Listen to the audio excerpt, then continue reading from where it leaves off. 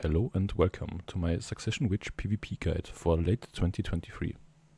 The first part of the video will be a bit beginner focused. I will go over each of the different skill choices and basically tell you what to spec into. After that I will talk about what distinguishes a Succession Witch from a Succession Wizard. Then later I will show you how to rotate your super armors and how to do protected movement on this class followed by some basic quote-unquote combos and my personal take on the playstyle of a Succession Witch. And at the end I will give you guys some gearing advice, including crystals, add-ons and all that stuff. Uh, starting off with the iconic multiple magic arrows, or MMA for short. Um, you just uh, take this and what it actually does we will discuss a bit later. Next up is prime earth arrows, you also take it. Um, it is a bit overlooked in my opinion. In most guides it's referred as a filler skill, um, but it actually is a really good catch because of the stiffen. It does decent damage actually and has a down attack and also a magic, a minus magic DP debuff.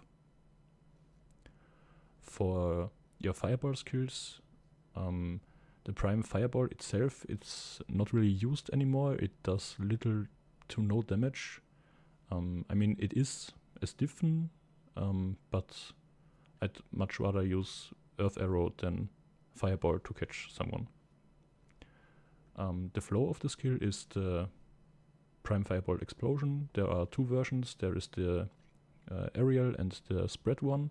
The uh, only the aerial has a knockdown, so you want to take the knockdown for PvP. Um, although the spread one has super armor, you you really want to have the knockdown because otherwise you are just uh, lacking CCs. Continuing with the Meteor, actually both versions are viable in PvP, just under different circumstances. The main difference between the two is that the aerial one has a knockdown, whereas the focus one doesn't. Both have a frontal guard during the casting animation of the skill, but the aerial one loses the frontal guard during skill execution. The aerial one also takes much longer to cast and has a longer cooldown. I'll show you the aerial one first. As you can see, long casting animation, we still have a frontal guard and if we release the skill, we lose the frontal guard. The area where you can CC people is really big. It's by far your longest ranging skill and longest range CC and um, the area where you can CC people goes even farther beyond that because the splash damage of the meteor goes a bit further. So you can almost CC people out of render distance. Now for the focus meteor, it looks like this. Really fast and keeps its frontal guard. So generally speaking, you want to take the focus meteor in 1v1s and small scale and the aerial meteor in large scale because it's a really good pre-engage CC. Uh, next up are your lightning skills. Um, lightning chain you basically never use in PvP. It uh, has a really long casting animation. It takes forever for the stiffen to tick and it is unprotected uh, as you can see so I'll just uh, just lock it and forget that it exists. As for the flow of the skill, you really want to take the first version. Now, because Succession Witch has no S block or Q block, you can mitigate this by using this skill. You can either choose to uh, cast the skill via key inputs or you can put it on the hotbar. If you cast it via skill inputs, uh, you can just hold it and rotate uh, the frontal guard as such. If you use it via a hotkey, you have to press it and then press right mouse button. And then you can also rotate the skill and release it on command. Sadly, the skill auto-releases after about 30% of your stamina is gone. The other nice thing about the skill is that it applies a shocking effect. Now you have this shocking effect on numerous different skills and what it does is that it applies a movement speed, casting speed, and attack speed debuff to your enemies. When people talk about witch and wizard slows, they generally mean this shock effect that you have on multiple skills.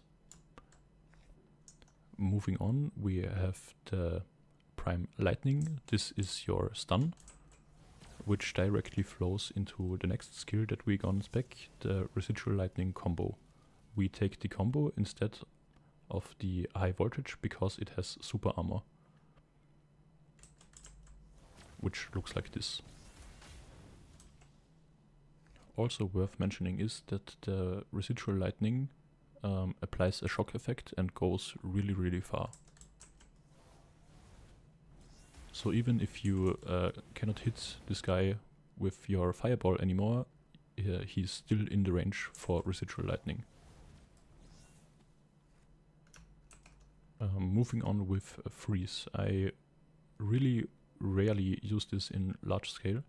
Um, maybe when I'm Shai buffed and speed spared and I run out of all other things to cast, then I throw in a freeze together with the second attack. Mm, but other than that, I don't really use this skill.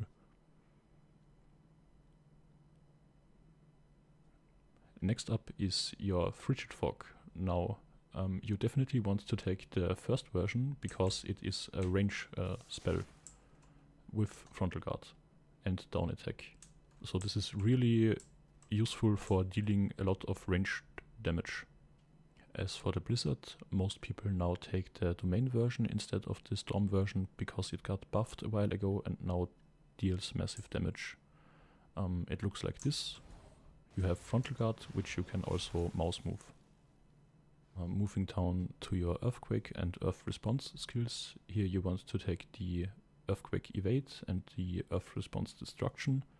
This is basically all your protected movement.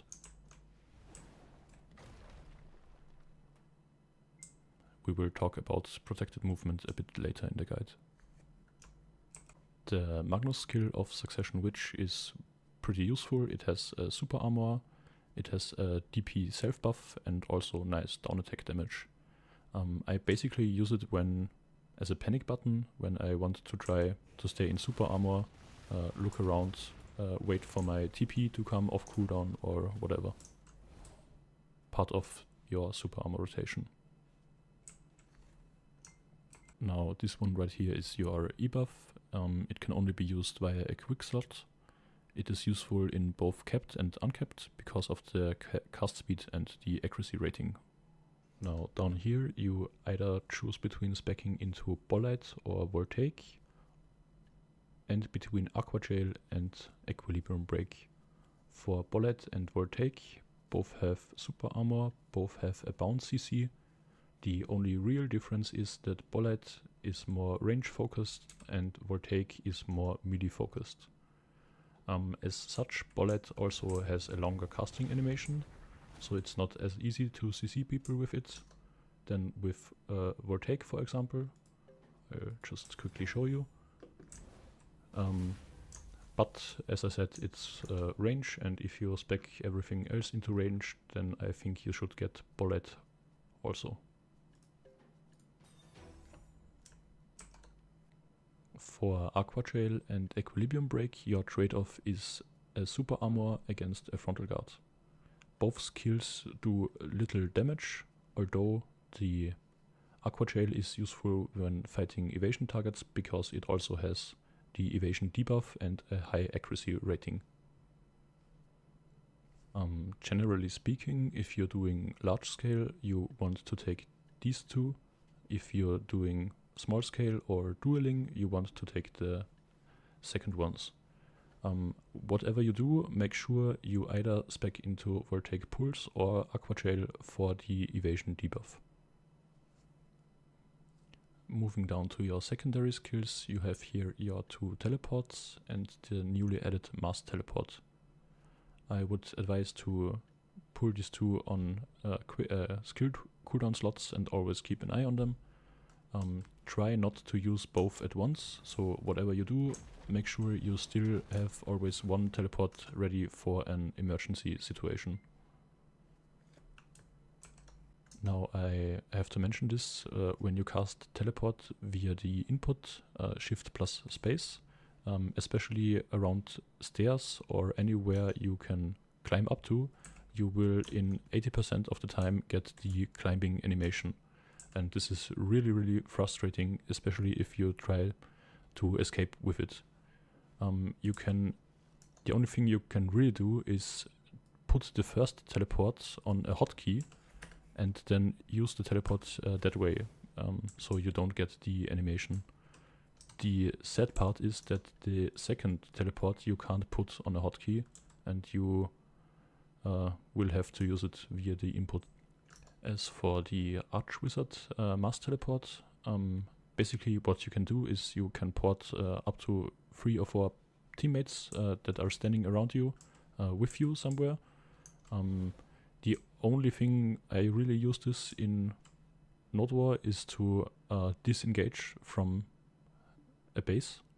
So if someone calls for respawn or something like that, or I'm really low health, I'll just uh, press it and then uh, pot out of the enemy base. And uh, potentially you can also take some of your teammates with you and save them. Uh, dagger stab you used to lock it, but now you can also unlock it. You can't uh, activate it anymore with F because your Magnus skill will get out. Uh, just uh, forget that it exists.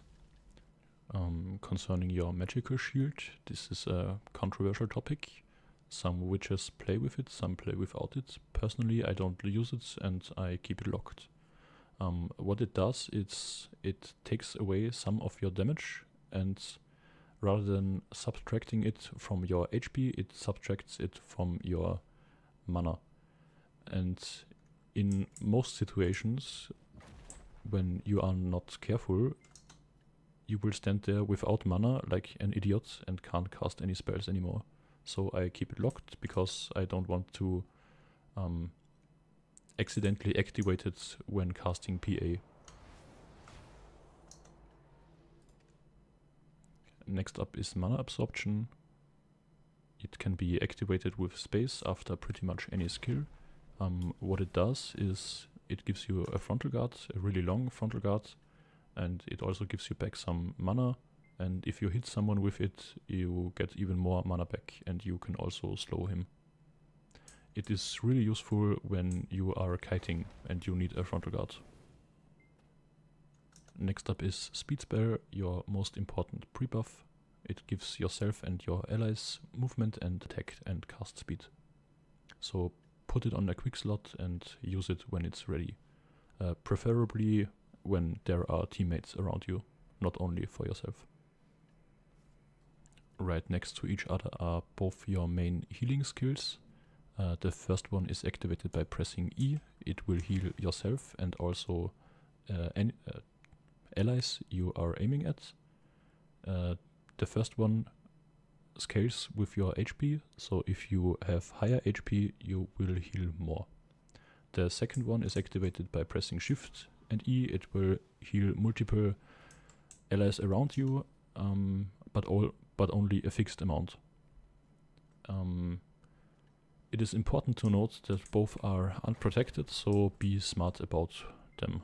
Don't run into and engage and expect not to get CC'd. Next up is your protective area, short PA. Um, use it when the shot caller calls for it or when you are about to engage or when you are getting engaged. It gives you 50% to all DR. Uh, next up is your blue orb and your red orb. The red orb you basically don't use in PvP. The blue orb is nice to have out because it gives you movement speed and also passive MP recovery. And unless you die, this buff is kept up for 10 minutes. For unprotected dash, you can dash two times to the left, uh, right and also backwards. Um, it is really useful for kiting in 1v1s. In large scale I would refrain from using it too much. In large scale you pretty much only use uh, your protective movement to move. Don't forget to skill all your passives. Down here you might wanna lock rage transfer and put it on a separate quick slot uh, because sometimes it interferes with your Rabam skills with shift and X and then you accidentally cast rage transfer. Um, the Node skill I mainly run uh, melee DP, um, but for kept content I run magic evasion. As for Rabams, there isn't really much choice. I would suggest everyone to use the Rabam heal. Um, sometimes you can even pull it off during combat uh, when no one's focusing you because it is so quick to cast and you can save your teammates. And next up is uh, Swift Earthquake. I have it on the hotbar, but uh, in most situations where I used to use this skill, I now use our Magnus skill instead. And it basically is a last resort super armor. As for your third Rabam, both versions are not really useful in PvP or at all. Um, you could maybe argue to use mana arrows um, from hotbar when you need uh, frontal guard, but um, your normal mana absorb just works fine. So forget about it. Coming this far, you might be wondering, hey, isn't this everything my succession wizard can do? Where's the difference? Actually, there are two main differences, namely spell storage and MMA. Let's start with MMA. If I cast a spell normally, it looks like this, nothing really special. But depending on the spell you casted previously, you could have four different outcomes. If I, for example, cast a fireball and then MMA after that, we will get an AoE fire attack that also does down attack damage. Next up, we will check out the ice attack. If I cast an ice skill and right after that MMA, we get these ice spears that po could potentially do a down smash. Next up is lightning. Now, previously, lightning uh, did the most damage because it went out so fast and had extra uh, attacks on it. But now all of them do the same damage. And lastly, we have the Earth version, where if you cast it right after an Earth uh, skill, you get a front guard. Now, what makes Succession Witch gameplay different from Wizard is that depending on the situation, you can weave in these MMA attacks. Uh, the most notable mention is when you are doing structure damage to a base, you want after your fire skills cast the AoE fire damage because it does AoE damage. The second notable mention is that in your combo after your Frigid Fog, if you cast multiple magic arrows, you could potentially get a down smash, which in turn uh, keeps your opponent on the ground for longer. Apart from these two situations, I would not advised to use the MMA much in large scale because it is unprotected. Apart of course from the frontal guard after the earth skills. But in my opinion, uh, whenever you could use the MMA, you can also use your mana absorption, which has a way longer frontal guard. So if you're like me and have played Succession Wizard in the past, you might be wondering what the fuck is spell storage because the skill description of Elemental Flow is a bit iffy, to say the least. And it took me actually quite some time to figure out what the fuck is going on. So basically, most skills, not most, but a lot of skills where you have a casting bar, you can cancel out of this by using magical evasion. Uh, looks like this. Now, what happened there is um, your character does the wind up animation for the skill. Then you use Magical Evasion, which puts the skill in spell storage, and when you come out of Magical Evasion, you instacast the skill. This is the simple version. It gets a bit more confusing when you don't leave Magical Evasion immediately, but you cast other skills in between. Now, watch this.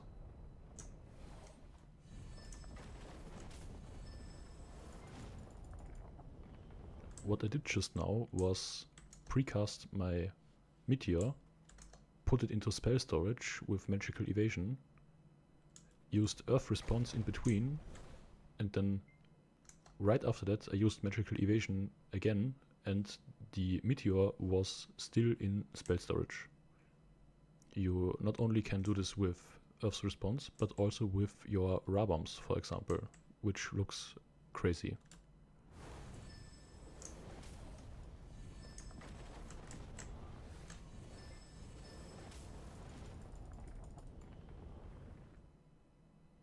Now, you might be wondering, what use does this have? Not much, to be honest. It used to be great in 1v1s because you could do some crazy shit with it, but unfortunately, magical evasion, which used to be super armor, is now unprotected. So the only real use you are gonna get out of this is when you cast, when you precast Meteor, and then you see oh no, I'm too far away, the enemy raid has positioned differently, they are coming from a different direction, I don't know, you can reposition yourself infinitely and you don't have to wait for, you don't lose your meteor, so to say. Uh, other than that, I would frankly forget about spell storage. Now let's talk a bit about super armor rotations. What is a super armor rotation? It is a set of skills that you cast one after another that allow you to stay in super armor without any gaps. This is especially important for Succession Witch as we do not have an S block nor a Q block. And we will always have to be on the move to not get CC'd. In my opinion, this is the most important part that you should learn first when picking up Succession Witch. A lot of new players I see are standing somewhere in the middle of the field casting skills and not moving an inch. This will get you focused and killed. The most important skill for your super armor rotation is Earth's response. It will move you to the left or right side by pressing either A or D and left mouse button. And the really cool thing about this skill is that it its super armor lingers extremely long and it also has an extremely short cooldown. Your second most important skill is Earthquake. It will propel your character opposite to the camera direction. You can use this to disengage away from something and if you turn your camera quick enough you can also use this to engage towards something. It is also your most important movement skill, as it allows you to move down from a high ground without getting a falling animation and while staying also in super armor. Pretty neat. Combining these two skills together, you already have a huge part of your super armor rotation figured out. And now you can also reposition yourself protectively. To bypass the long cooldown of Earthquake, we now start to introduce two different super armor skills, namely Bolide and Aqua Jail. Combining all these four skills together with one of your teleports can keep you protected forever.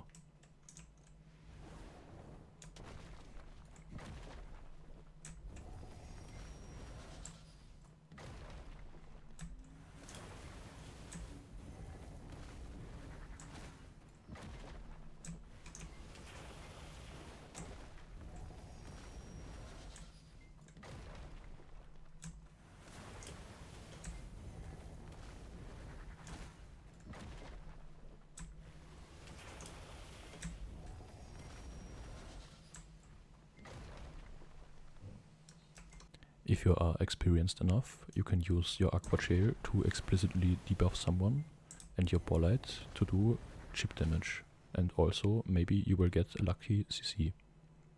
Now, chances are that you will fat finger something, and in such a case, you can always use your Magnus skill as a last resort. If for some reason your Magnus skill is also on cooldown, you can use your Swift Earthquake Rabam. This will give you enough time for something else to come off cooldown. While staying in super armor is great for not getting CC'd, it won't help you against grabs or straight up damage in your face. For such cases, you have your second teleport. If you do your normal super armor rotation and protected movements, you use already one of your teleports quite frequently. And if you see a grab class rushing towards you, you just use your second teleport to get away. Once you are a bit more experienced, you can use your frontal guards to absorb some of the incoming damage. This will help you stay alive significantly longer. Your most important frontal guard is Mana Absorb. Simply activated by pressing space. Second to that is your Frigid, which you can use to also do some range poke damage. And then there is also Blizzard, which does huge AoE damage and you can also move the frontal guard of the skill. So let's talk a bit about some combos you can do. First up, I'm not a duelist or some kind of expert on 1v1s. I mainly do Node Wars and Red Battlefield as PvP content and as such this is also reflected in the combos that I will give you. So with the skills I told you guys earlier to spec into, we essentially got 4 hard CCs and a bunch of different stiffens that you will use for catches. First up we've got two knockdowns, one from your Meteor, ignore the stiffness parts, we are interested in the knockdown. The second knockdown is from your Fireball Explosion. Then we got your one and only stun from Lightning. And then we have lastly, but certainly not least importantly, your bound from Bolide.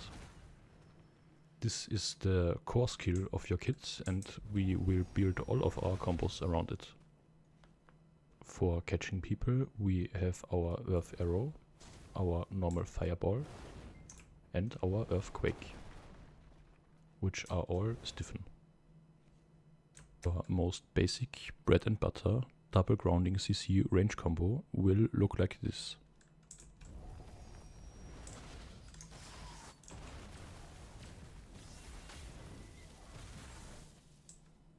Now, what did we do? First up, our initial CC was Bolide, which is a bound. Then we used Frigid Fog for additional damage. We re-CC'd with Fireball Explosion. And then we casted our Lightning combo for extra damage. if you are not slowed, have enough casting speeds and high enough FPS, you can weave in a few more skills to do extra damage. This can look something like this.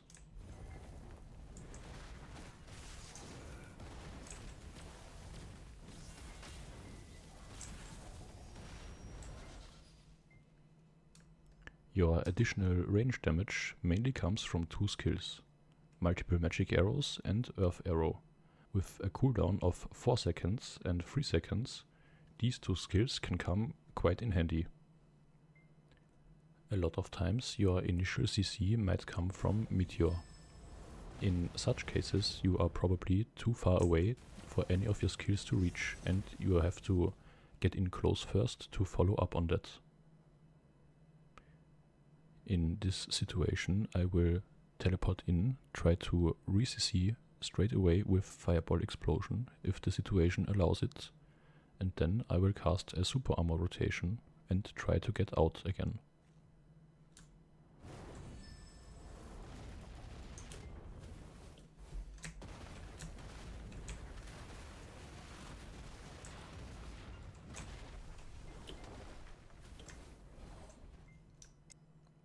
Let's talk a bit about catching people. As I've said before, Bolide is really slow and getting an initial CC with it rather hard. So what you will do most of the time is trying to get a quick stiffen and follow that up by a grounding CC.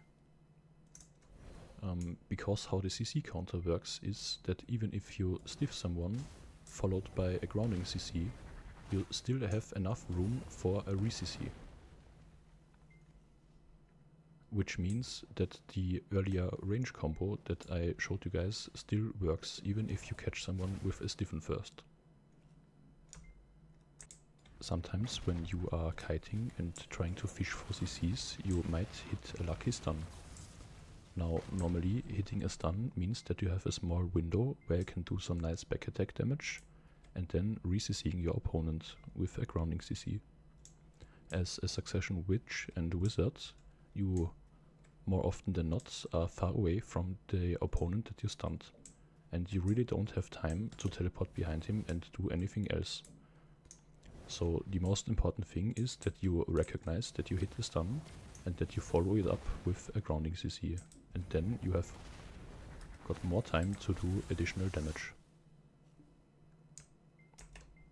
If you've been playing Succ Witch for a while, or if you try out some of my combos in RBF, you might have noticed that it is actually really hard to one combo people. Part of the reason is that specking into the ranged skills I showed you does not give you the most DPS output possible. Another issue is that in group fights especially, once you CC someone, you might not have another follow-up CC ready. Now, listen carefully, here's an important piece of advice. Don't worry about it.